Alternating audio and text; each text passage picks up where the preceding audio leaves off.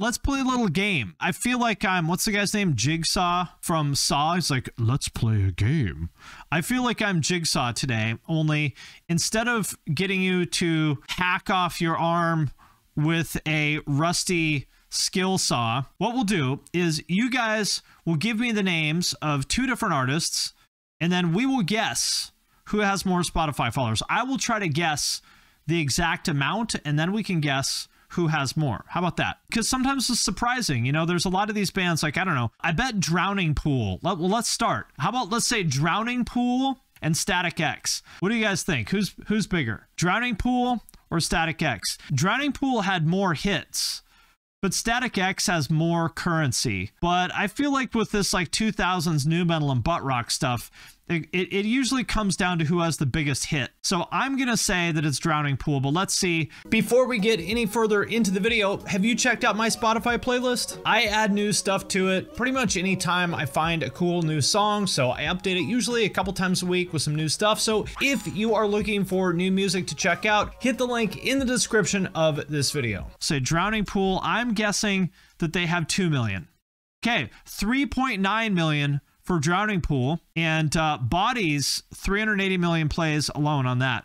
Let the bodies hit the floor. See, I thought Drowning Pool had more, so I'm going to say Static X. Let's say that they have. I, I uh, gosh, we'll we'll say I'm going to say four million for them. Static X. Let's see. 1.6. Wow, wow, 1.6. So there you go. Who knew? Drowning Pool officially more popular than Static X. Who knew? I'm surprised. Yeah, that, that surprises me. Okay, who's next? How about some pop punk? SR71. Okay, SR71 and who? Bowling for Soup. How about that? SR71 and Bowling for Soup. I'm going to say Bowling for Soup because they have several songs that are pretty popular, and 1985 was like a real mainstream hit. So I'm going to say Bowling for Soup has 2 million, and SR71 has one and a half million. Let's see. Bowling for soup. Three million. Okay. Um, and uh, oh, that's right. And the guy from SR71, right? 1985, is that who it was? And then we'll say SR71 is how many? SR71. Wow. Okay. Even though they had Right Now, which was a uh, popular song. Yeah, here's the original version of 1985. So I was shocked by this. Only 669,000 for SR71. Surprised. What else do we have? The story so far versus neck deep.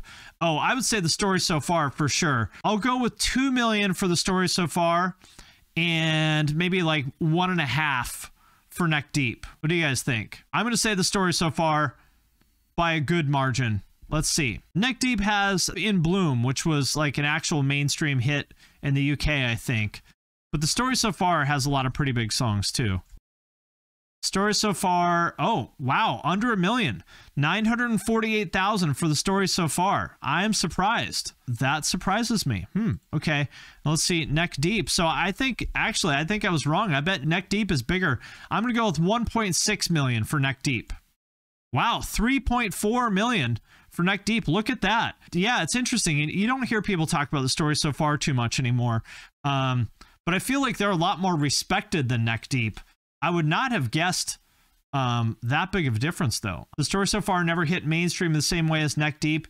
That's true, but uh, I'm kind of surprised by that. Turnstile versus Hatebreed. Okay, Turnstile, I want to say is around one and a half million, and Hatebreed, I think, is like around a million. That's my guess. What do you guys think? Turnstile is one of these bands that people think that Turnstile is kind of bigger than they actually are in terms of streaming. Turnstile's numbers are not great for streaming. They're not they're not big. Um, it's kind of surprising. Turnstile, yeah, 1.3 million for Turnstile. It's surprising. It's one of these bands that people always think is bigger than they actually are. They get good festival placements, but you know, they're not actually that big of a band. They have a lot of hype, but they're not a huge band. And I'm sure they get paid very well for those festivals and stuff, but not as big as people might think in terms of streaming. Hatebreed, I think, is around maybe a million ish. So let's see. Hatebreed 1.3 million, 1.38. So we're it's close. Wow, Hatebreed edging it out by uh, 80,000 listeners. I am surprised. I am surprised. Turnstile fans listen to vinyl. You might be right about that. Was not expecting that. Never heard of them until people freaked out over that Taco Bell commercial. Uh, very interesting, isn't it? How now Taco Bell commercials is like a sign of legitimacy. Bring Me the Horizon versus Motionless in White. Okay, that's a good one. I'm going to say Bring Me the Horizon is bigger, but Motionless does well. So I'm going to guess Bring Me the Horizon is at around 8 million now, I'm guessing. And I'm going to guess that Motionless is like 3. How about that? Because, you know, Bring Me the Horizon, Bring Me the Horizon has quite a few like actual like kind of hit songs, like viral songs. You know, they had uh, "Can You Feel My Heart" was viral on TikTok, and a lot of like, you know, a lot of songs that are, are pretty big. You know, Sempiternal is is like an actual classic now, but Motionless does better than people might think. So let's see. I'm sure Bring Me the Horizon is bigger, but I'm to say Bring Me the Horizon is 8 million. That's my guess.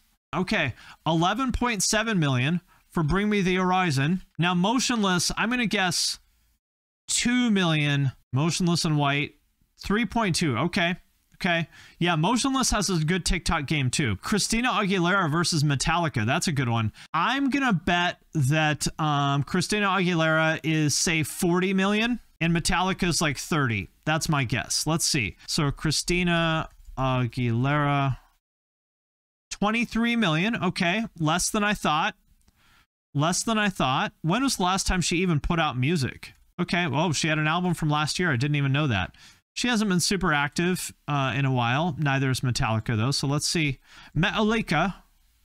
Metallica is at 25 million. Okay, so barely bigger than XTina. 2002 Christina is peak attractiveness for the human species. I agree with that. If this version of Christina Aguilera doesn't make you feel funny in your area, you have no soul. Imagine Dragons versus Maroon 5. That's a good one. That's a good one. Okay. I think Maroon 5 is bigger. I'm going to go with Maroon 5 over Imagine Dragons. Maroon 5, I'll say, is 15 million. And I'll say Imagine Dragons is, I don't know, 10 million. Imagine Dragons had more recent hits. That's true, but Maroon 5 has, I think, overall more hits. Plus, Adam Levine was a judge. He's on The Voice, right? You can't discount how big that kind of like mainstream TV coverage is. So I, I think Maroon 5 is bigger. But let's see. Maroon 5. Maroon 5 with holy shit, 56 million listeners. Holy shit. That's twice as many as Metallica. Holy fuck, dude. Maroon 5 is twice as big as Metallica, people. Wow. I did not see that coming. Yeah. Who are these people? Who are the 56 million people listening to Maroon 5? I don't know. I was not expecting that. So I would say there's no way that Imagine Dragons is this big. Let's see if I'm right, but uh, I see no way that Imagine Dragons is this big. So I'll revise my estimate for Imagine Dragons to 20 million. Well, let's see. Holy fuck. Wow. 60 million people. Put that in your pipe and smoke it, people. There are 60 million human beings every month, every single month that are listening to Imagine Dragons. Put that in your pipe and smoke it. Spotify globally has 480 million users, I think. So that means that what? 15%, 15% of people on Spotify Listen to Imagine Dragons every month. How about that? 15% of humans on Spotify listen to Imagine Dragons every month. there it is. Okay. Red Hot Chili Peppers versus Arctic Monkeys. That's a good one. I'm going to say Red Hot Chili Peppers are a lot bigger than Arctic Monkeys um, because they've just been around for so much longer and they have so many different hits for so many different eras, you know, 90s, 2000s, now. Chili Peppers are one of the biggest fucking bands on the planet. People don't realize how big they are. They have something like 10 Billboard top 10 albums. Like, Chili Peppers are a fucking massive band, which I don't understand because they've been terrible for a long time, but they're huge. Arctic Monkeys, respectable for sure but Chili Peppers are one of the biggest bands on the planet. So I'm going to guess the Chili Peppers are, you know, somewhere in the like 50 million range. And Arctic Monkeys, I'll say 20 million, maybe. How about that? Let's see. Red Hot Chili Peppers.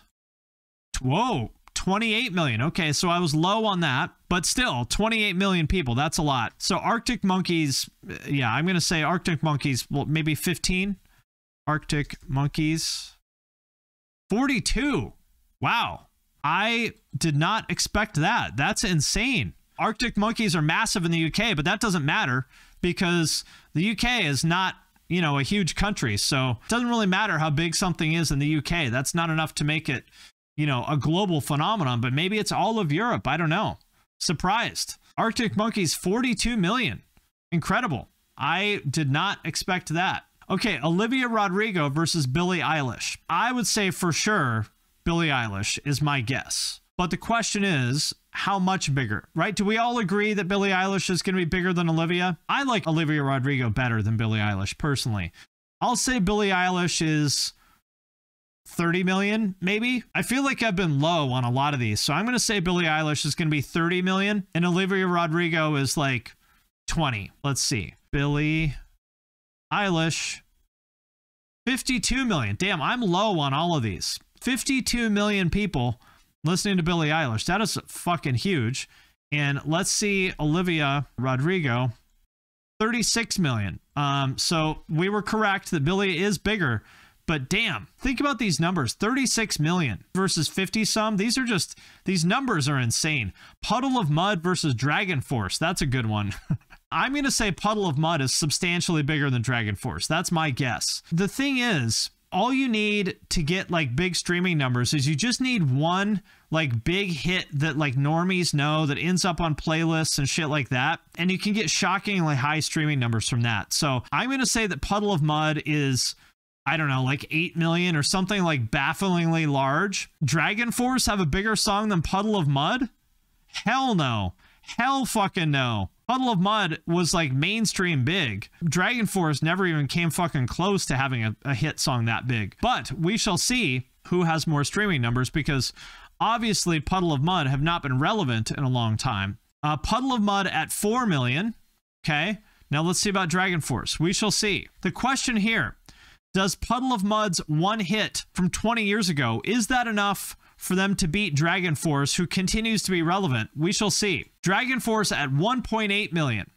So there you go. Puddle of Mudd is still twice as big in streaming as Dragon Force, despite the fact that they had one kind of good song 20 years ago. That's the power of uh, the monoculture people. That's how much it matters to have a big hit song from the 2000s. 311 versus Incubus. Okay, that's a good one. I'm going to say that Incubus is bigger because they had mainstream hits and so did 311 kind of but like wish you were here and drive those are like actual like kind of crossover hits in a way that 311 didn't have. And I love 311, by the way. I love 311. So yeah, I'm going to say Incubus is maybe around like, I don't know, 8 million or something. I bet they're still pretty big, even though they haven't been active for a long time. And 311 is like five. That's my guess, but I might be wrong because 311 has a very die-hard fan base to this day that still rides hard for them. So it's possible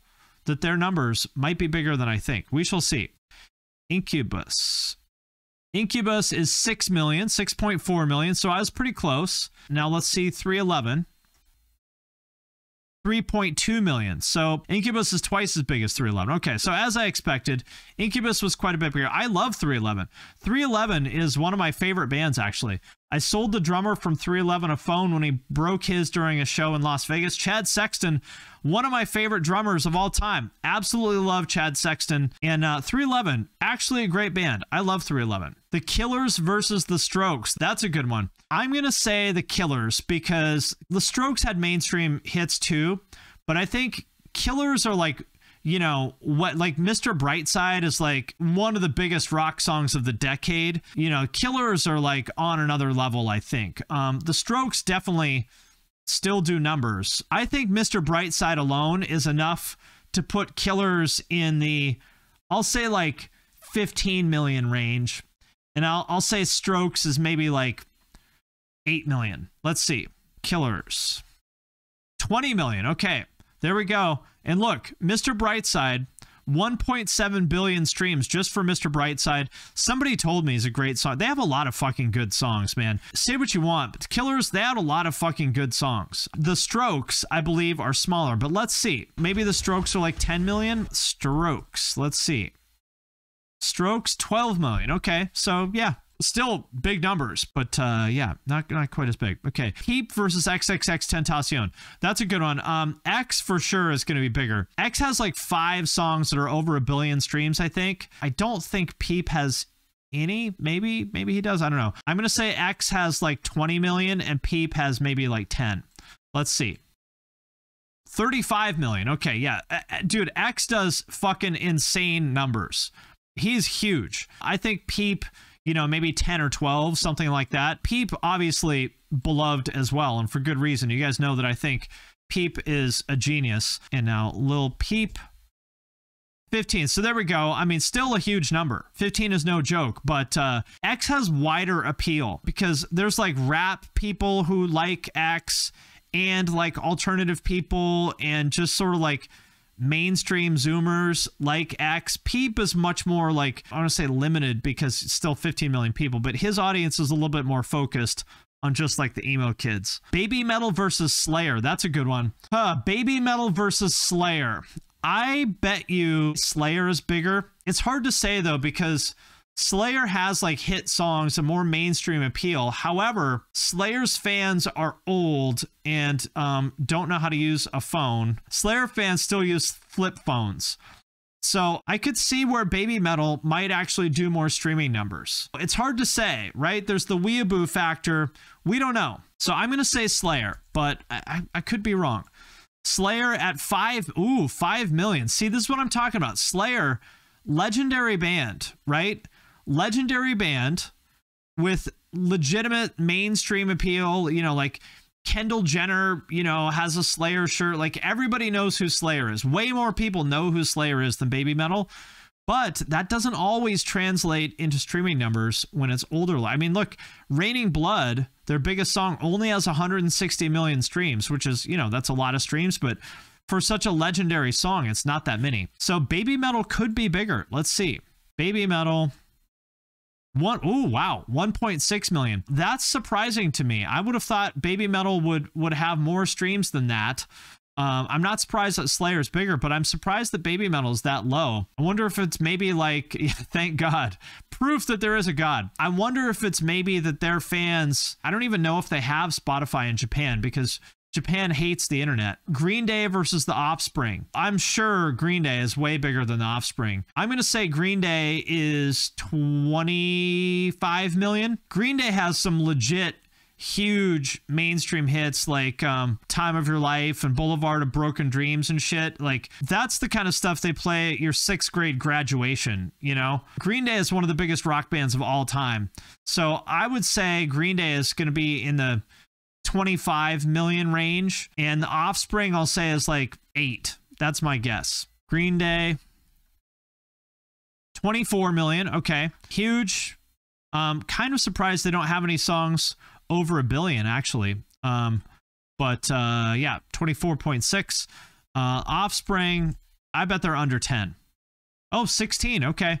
Well, Green Day is bigger by a good margin, but I'm surprised that the Offspring, you know, the Offspring have bigger streaming numbers than like 311 and Incubus. That kind of surprises me. But uh, yeah, there we go. Marilyn Manson versus Rob Zombie. That's a good one. Okay. I'm going to say Marilyn Manson because I think Marilyn Manson has more hits and more mainstream appeal. Rob Zombie fans um, either still use a flip phone or they can't afford Spotify.